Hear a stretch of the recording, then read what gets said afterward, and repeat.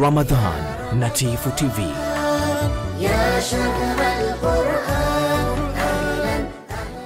Bora asi mtu anaweza kwa sababu Mwenyezi Mungu Subhanahu wa Ta'ala ghafuru rahimu, yeye mwenyewe anaelezea hivyo kwamba msamehevu, anaweza kakusamehe katika yale ambayo umemfanyia baina yako wewe na Mwenyezi Mungu kwa toba, kukamilisha ile misingi ya toba, lakini kosa la jinai ipo riwaya ya hatari sana ya hadithi iliyokuja ya kwamba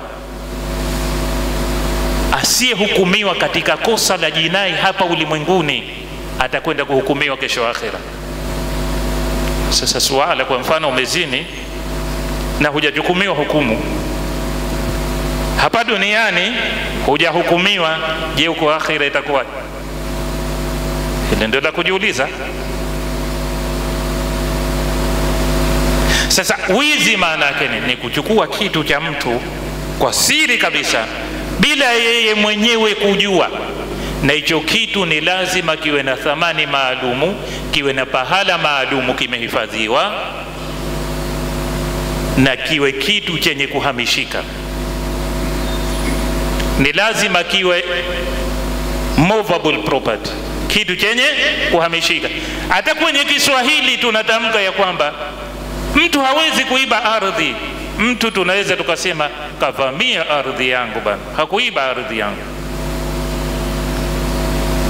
Lakini mtu akimchukulia mwanamke mwenzio anasemaje? Kaiba mke wa watu bana sababu si imefanyika. Movable ile hatua ya kukitoa pahala pamoja kukipeleka pahala pengine kwa siri kabisa na kiwe na thamani na uzito uliokubalika na thamani iliyokubalika katika sheria ya dini ya kiislamu. Wizi. Wengi wetu tunaiba na hatuhukumiwi katika sheria ya kiislamu. Sasa tusubiri. Allahu alam. Lakini hatujui sasa kwa akhira maana hakuna mtu aliyeiba akenda akasema "Ah, bwana jamani mimi niliiba lakini huko nilipofika sijui hukumu ilikuwaje. Na hii ndio siri. Hapa kuna pazia kubwa sana hapa kuna siri kubwa sana hapa. Hatari ndugu yangu Muislamu, jitahidi katika maisha yako usikomiti crime katika uislamu usifanye swala la jinai ni hatari sana. Jinai ni hatari sana. Kwa sababu lazima punishment yake iwe applicable. Ifanyiwe kazi.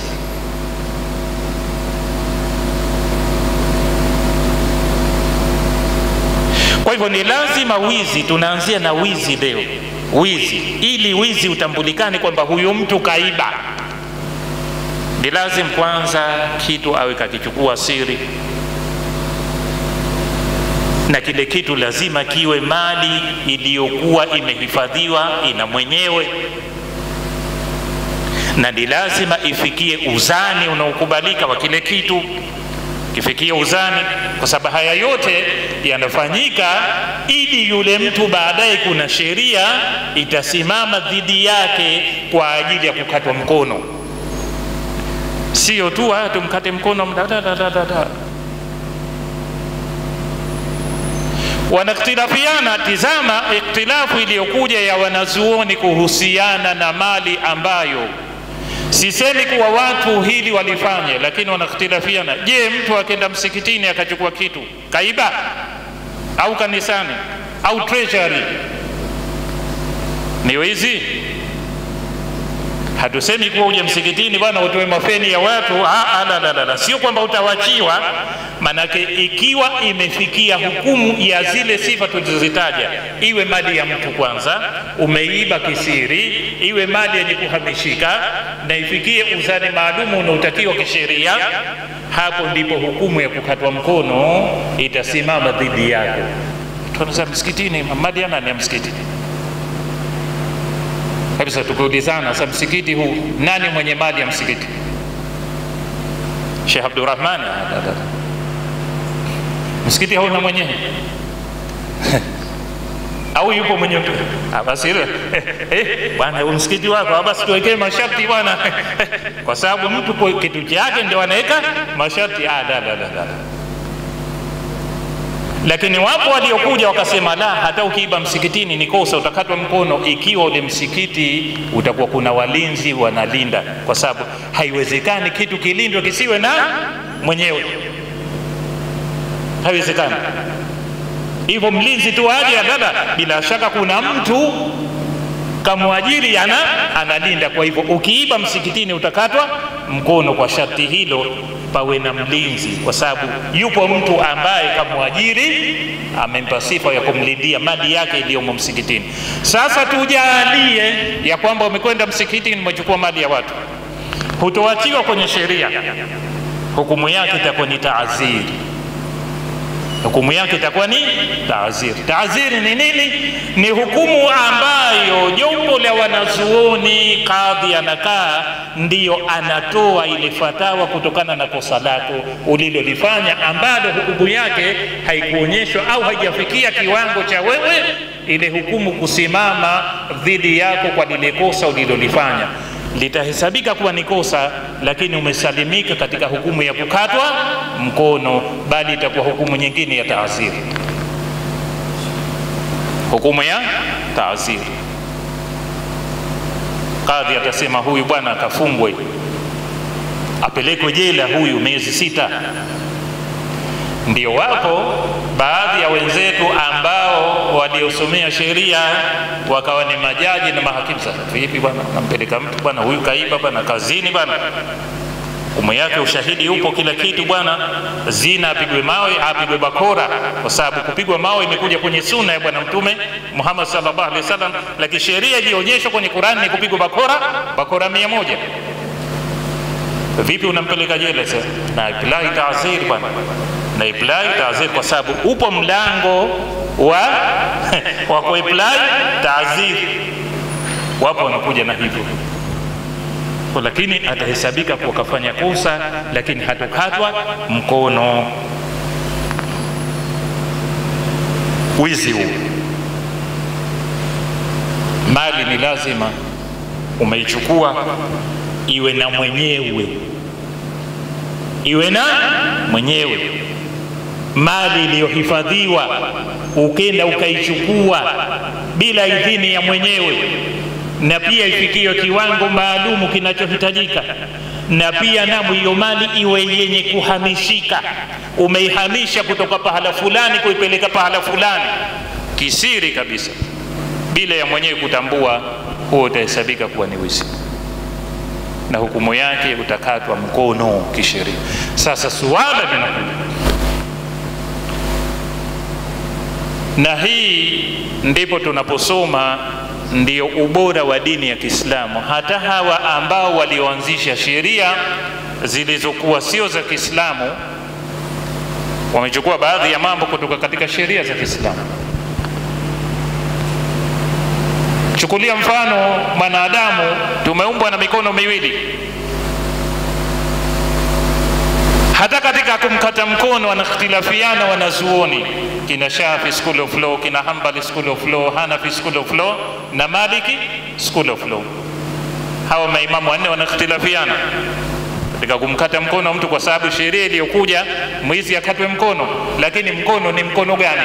Ndio naingia kwenye swala la Islamic jurisprudence, usulul fiqh, ile translation ya aya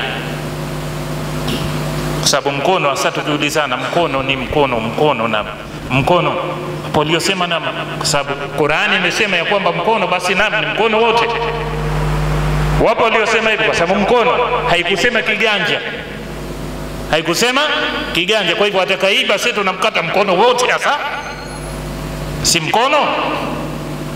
Sasa kaiba watu mia moja, kawaibia watu mia moja na sifa tulizozitaja zile nam mwanadamu hana mikono mia moja, tukasema ya kwamba au tutamkata kipande cha kwanza cha pili cha tatu mpaka tufikishe mia moja, tahfifu juu ya kwamba umefanya kosa, lakini kitakachokatwa ni kile kile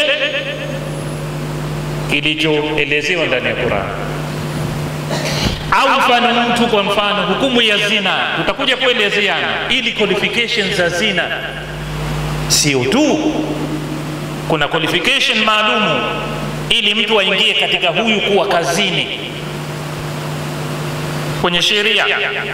Na hukumu yake apigwe bakora mia moja. Au ahujumiwe apigwe mawe. Ukiangalia hii hukumu nzito sana. Kwa sababu unayaondoa maisha ya mwanadamu. Na ndio maana ukiangalia ukiangalia kama utakuwa umesoma hata enzi za mtume sallallahu alaihi wasallama mimi sisemi kuwa hazipo lakini mimi sijaiona. Inawezekana wasomi wengine wameiona. Katika kusoma kwangu sijaona ya kwamba walitoka watu wakenda kwa bwana mtume sallallahu alaihi wasallam wakasema ya rasulllah abdurahim kazini. Abdurahim kazini kwa nini? Kwa sababu kuna question mark. Ikiwa ushahidi wake ni watu wanne ikiwa hakuna hiyo inageuka lile kosa linaelemea kwako inakuwa alkadhi umemsingia umemsingizia abdurahim kuwa kazini. Sababu huna ushahidi. Sasa upigwe bakora 80 kwa mujibu wa sheria ya kiislamu. Bali lililokuja watu kutoka wenyewe kwenda kwa bwana mtume sallallahu alaihi wasallam ya Rasulullah, mimi nimezini nihukumie mi nimezini naomba unihukumie. Lakini sio mtu katoka akenda akasema fulani kazini nimemuona. Ataambiwa hatu burhanakum in kuntum sadikin lete ushahidi wako ikiwa wewe unasema kweli. Mashahidi wanne uwapeleke huna maana yake umemsingizia yule mtu kuwa kazini. Sasa hukumu inasimama dhidi yake kwa kupigwa bakora 80 hapo ndio penye kasi lakini wapo waliotoka kisa. Kimeelezewa kwenye riadhu salihin. Mama mmoja alitoka akenda kwa bwana mtume sallallahu alaihi wasallam ya rasulullah nimezini nihukumie. Na mimba tayari. Bwana mtume sallallahu alaihi wasallam akawaita mawalii wake akawambia kaeni naye huyu mtu mpaka ajifungue baadaye mleteni kwangu. Alipojifungua akamleta kwake akamrujumu baadaye akamsalia tayari maanake kisha takasika hii inatufahamisha ya kwamba ndugu yangu Muislamu, ndio maana tukaelezeana tumwombe mwenyezi mungu atuhifadhi na kuingia katika makosa ya jinai. Wengi wetu tunakwenda mbele ya mwenyezi mungu subhanahu wa taala hawajatakasika. Wangapi wanafariki wamezini na watu mbalimbali na hawajahukumiwa? Wangapi wanafariki wamezini na watu mbalimbali hakuna hukumu iliyochukuliwa dhidi yao. Wangapi wanafariki wameiba hukumu haijachukuliwa dhidi yao? Wangapi wanafariki wamewasingizia watu uzinifu hukumu haijachukuliwa dhidi yao? Wangapi wanafariki walikuwa wanywaji wa pombe hukumu haijachukuliwa dhidi yao? Na je itafutika ndio suala lazima mashehe zetu watuelezee walimu wetu. Na ni lazima tufanye study tusome tufanye research ya hali ya juu kabisa. Kwa hivyo jinai jiepushe na jinai zina wizi kumsingizia mtu uzinifu. Wizi wa kutumia nguvu. Arida kurtadi tutakuja kuelezeana ikiwa muda upo wengi wetu pengine tushakuwa murtad katika maisha tunayo tunayoishi. Sasa wizi una hukumu zake. Wameikhtilafiana kwanza hukumu imekuja kwenye qurani mwizi mwanamme na mwizi mwanamke mkateni mikono yao. Je mkono ni upi wapo waliosema atakatwa kiganja tu. Wapo waliosema na mkono wote. Atachukuliwa atakatwa mkono.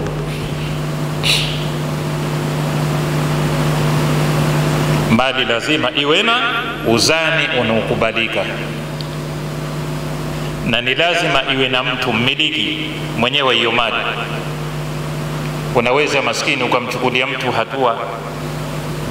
Ikiwa mtu kaiba pengine kaiba kiatu cha shilingi mia tano unakwenda maskini unampiga unamtoa jicho au unamtoa jino, kuna hukumu yake katika sheria ya Kiislamu, kwa sababu alichokifanya hukumu yake hukuisimamisha, na ikiwa kiwango cha kusimamishiwa hukumu hakijafika, kuna hukumu nyingine ya taazir, sio ile ambayo wewe ulioichukua kuna hukumu nyingine ya, ya taaziri.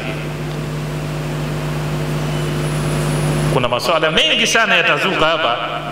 Kwa leo tufikie hapa. Billahi taufiki wassalamu alaikum warahmatullahi wabarakatuh Ramadan na Tifu TV